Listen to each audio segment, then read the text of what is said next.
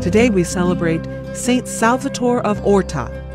Born in Spain in 1520, Salvator entered the Franciscans as a brother at 21. He intended a life of quiet service to his religious community as cook, porter, and beggar. During his regular begging rounds, he began healing the sick he encountered, blessing them with the sign of the cross. News spread, and sick people began flocking to the friary to see Salvator.